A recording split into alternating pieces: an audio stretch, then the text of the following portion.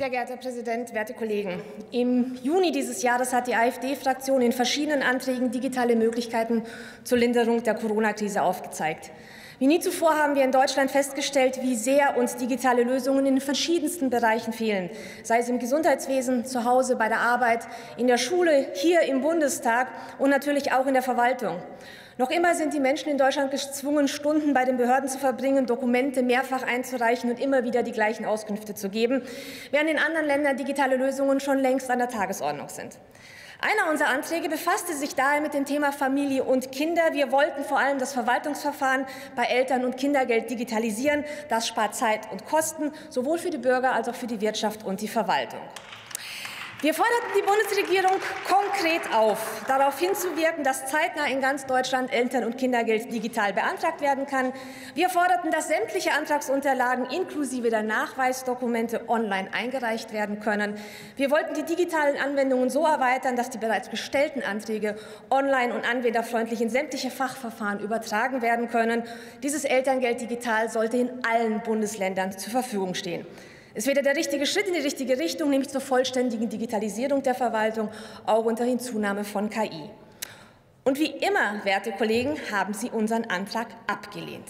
Alle Fraktionen haben sich dagegen ausgesprochen, vorneweg natürlich die Koalition. Und jetzt legt diese Koalition ein Gesetz vor, das da heißt Digitalisierung von Verwaltungsverfahren bei Gewährung von Familiendienstleistungen. Also im Prinzip das, was die AfD im Juni beantragt hat und Sie alle abgelehnt haben. Mal ehrlich, liebe Kolleginnen, ist Ihnen das nicht selbst langsam peinlich? Sie lehnen Anträge unserer Fraktion ab, nur weil sie eben von der AfD kommen. Hinter den Kulissen geben Sie sogar zu, guter Antrag, falsche Partei.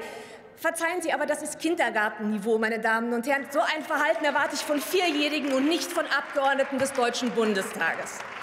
Und völlig absurd, völlig absurd werden solche Ablehnungen dann, wenn wie hier kurz danach ein Antrag oder ein Gesetz folgt, das genau das fordert, was wir ja eigentlich wollten. Egal ob digitale Familienleistungen, Abschaffung des Solis, Verbot der Hisbollah, Überprüfung der Entwicklungszusammenarbeit mit China, Fertigstellung von Demis, das Familienentlastungsgesetz und, und, und.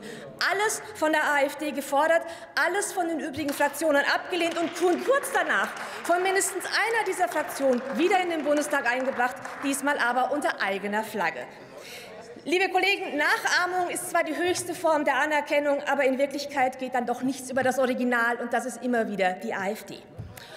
Und im Gegensatz zu Ihnen, im Gegensatz zu Ihnen spielt, unsere Fraktion, spielt es für unsere Fraktion keine Rolle, wer denn den Antrag stellt. Es geht um die Inhalte und wie wir unser Land nach vorne bringen. Wir wollen das Beste für Deutschland.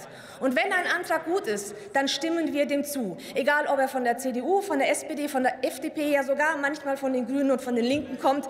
Zugegeben, da kommt nicht viel Gescheites, aber wenn was kommt, dann sagen auch wir Ja. Und so werden wir auch diesem Gesetz zustimmen. Es wird höchste Zeit, dass wir beim Thema E-Government den Turbo einlegen. Ein wenig Bauchschmerzen habe ich mit dem Änderungsantrag der Koalition, in dem eigentlich das Onlinezugangsgesetz angepasst wird. Hier wäre ein eigenes Gesetz angebracht gewesen. Dieses Huckepack-Verfahren hätte man sich schenken können. Und klar ist auch, dass dieses Gesetz nur ein erster Schritt sein kann, dem viele weitere folgen müssen, damit Deutschland auch in der Verwaltung digital endlich aufholen kann. Und bitte achten Sie darauf, dass Sie diesmal auch die Bürger mitnehmen und für eine umfassende Aufklärungskampagne sorgen, damit die Menschen wissen, welche Möglichkeiten sie haben und diese dann auch nutzen.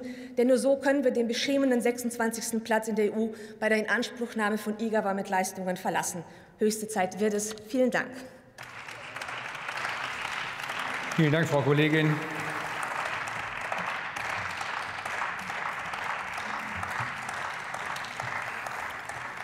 Nächste Rednerin ist die Frau Bundesministerin Dr. Franziska Giffey für die Bundeswehr.